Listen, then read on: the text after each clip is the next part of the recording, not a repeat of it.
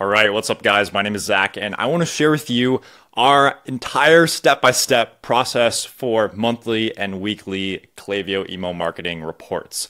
These are the exact templates and the exact structure that we use and we give to our clients on a monthly and weekly basis whenever we work with them. So I'm going to walk you through our entire step by step process, all these different numbers here. This is the monthly report, everything that we go through. And then we also have the weekly report. And so you can see this is our account manager and our clients seeing that weekly report and just getting a snapshot of what's going on during the week. And then the month, that report is a lot more in depth. So I'll walk you through everything that you see here. Okay, so getting into the monthly report, we simply at the start here put the month, Klaviyo report, and the client name. So in this case, it'll be August of 2024 and I took out some details, obviously, of the, the actual clients. First up, we want to look at just the business overall. Where's revenue coming from? How are these different channels bringing in revenue, and how does that compare to overall revenue? So we like to look at the dashboard from the start of the month to the end of the month. And so we're looking at total revenue and then versus total revenue, how much are we actually bringing in in terms of Klaviyo attributed revenue? In this case, we're really crushing it. We're above our benchmark of 33%. We're actually at 37%. So this particular client, we've really, really crushed it before. And we're usually sitting in the high 30s to 40%, which means that retention is doing exceptionally well if you're if we're above that benchmark. And now they can take this extra 11 grand per month and they can go spend it on ads, which means they can continue to grow this top line revenue number and growing that top line revenue means that you're going to put more people into your flows. You're going to have more people to send campaigns to. You're going to get more traffic to your site and to your email list, which means that both of these numbers can grow simultaneously. So we want to maintain 37% and you know up to 40% plus as this becomes 50k, 100k, 200k per month. So that's what great email campaigns and great email flows does when you do it correctly. And so, campaigns versus flows, we like to ideally have a good balance. Honestly, some brands are going to do really well with campaigns, but not as much with flows. Other brands are going to do really well with flows and not as much with campaigns. I could make a whole separate video on what type of brands do really well with both and what we tend to see. But as long as we don't see any major outliers here, we're super happy with a pretty even split between the two if, if campaigns was like 5% and flows were 95%, again, we would have a little bit more concern. And then email versus SMS, usually if you have SMS firing on all cylinders, it's going to bring in about 15% of overall revenue, of overall Klaviyo revenue. So we're at about 17%. So right on pace. This is a super solid split and we have everything that we want to running. So that's why we have such great metrics. Okay, so generally, we're just, just giving a summary here of what I said verbally right there. List growth. Now, this is super important. It's the first step is just getting people onto the list. So we need to talk about it first. Now, we talk about pop-up forms and then subscriber growth. So in this case, we like to look at our main four pop-up forms that we set up for clients. We're going to have our desktop and mobile, and then SMS retargeting for desktop and for mobile. I can make, a, again, a whole separate video on what these two are, but we can see here the submit rates are really, really crushing it. Minimum that we're doing here, 6.2%, going all the way up to 21%. So we're doing really well with these. We want to just continue this performance and continue getting as many people as possible into those flows. So we're just summarizing this here.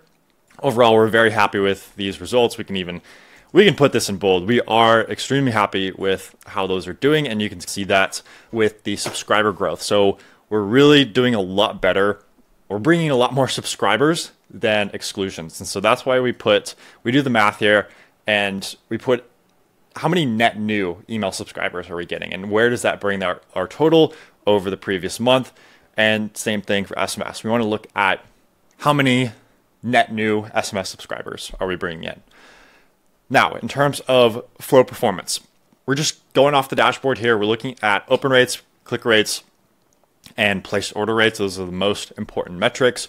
Overall, these are all super healthy for this particular client. Nothing too much to report here, just means that we're doing really well and we want to continue to have great open rates, have great deliverability, increase our click rates as much as possible. Top performing flows, we like to look at what are the winners are, what the winners are, and just see here, we incorporate email and SMS into both. So we like to just get an overview of what the top performing flows are. And so we to take this from the start to end of the month and see which flows are actually bringing in the most revenue and how can we start split testing this and split testing this and split testing this to continue to just double down on what's already winning. Another thing too here is that say if the welcome series was number eight, that would be a major cause for concern. If we're not bringing, if this was out of order, if a abandoned cart was way down here and the customer win back flow was way up, that's going to tell us a lot of different things. And overall, it's just a great, great metric to look at when we're sorting by the most. We have the most revenue producing flow at the top. That's super important. SMS, same thing. We're just looking at click rates and place order rates. Doing really well with this here as well. Very healthy numbers. We're continuing to crush it with SMS. All right, now campaigns. So we like to look at how many campaigns did we actually send during this period. What did the breakdown look like? What was the click rates, place order rates, and things like that? And then we want to look at what were the best performing campaigns. What was the the top performer? What was the pro, like the actual promotions that we did? So in this case, if it was Labor Day sales, we want to look at that breakdown and see was it email one that did really well? Was it email two, email four? Where did that revenue come from? And was there some sort of drop off? What can we take to next time, basically? Email campaign performance. Again, we're just looking at making sure open rates, click rates, and place order rates over the month are where they need to be. So no issues there. And we're also looking at over time, how many email campaign recipients are, how many people are we sending emails to basically?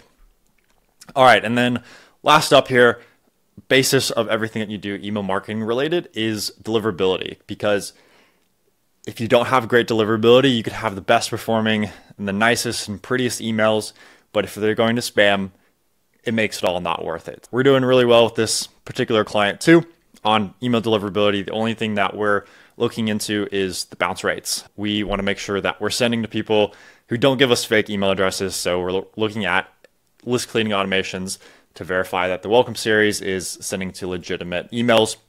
We actually saw, we looked at what flows were getting poor bounce rates, and it was the welcome series. People basically opting in, trying to get a coupon, giving a fake discount, or giving a fake email, and then we send that email we send an email to that address and it's a fake one. And so that's definitely hurting bounce rates. So we're going to be able to mitigate that with some automations and some list cleaning. All right. This is the entire monthly monthly report that we send our clients after every single calendar month. Onto the weekly report. So, with our weekly report, it's super straightforward. We want to give just a quick summary keep in mind too, we're, we're just looking at the business overall. What's going on? What happened this week? What's going on next week? And where are we at with things like split tests and just what are we doing within the account? We're giving pretty generic we don't want to overwhelm people here. We just want to give this give the most important like bullet points. And you got to keep in mind too we've probably we, we send these every friday. We've probably been in touch with the client like three times already throughout the week at least because we're sending over deliverables, we're giving quick updates again as we're doing them. So this is just a real summary of what what went on because we're we're sending a lot. We we have a lot of communication with the clients. This is my account manager Martha here. She says, "Hey, client name. Here's the this week's Nike weekly report. In the last 30 days, our total revenue was Total attributed revenue, so total Klaviyo revenue, was X percent, 48% of total revenue. Again, as I said, we're really crushing with this client. Two emails were sent this week email one, email two that I blocked out for reasons that are obvious. Two emails are scheduled for next week email one, email two, and then A B test results. Here's the A B test that we ran. It was this, it was got this place order rate, this, the, that, and the other. And the client said, Thanks, Martha. Results look awesome. Hope everyone has a great weekend. That was our weekly report as well as our monthly report. So, at this time in the video, if you want us to go ahead and do everything that you see on screen here, if you want us to build you reports every single week and every single month and help you upgrade your email marketing, make more revenue, and bring in minimum of 33% of your overall revenue. If you want that all to happen, completely done for you, go to zhsecom.com. That's zhs ecom.com. Book a call there.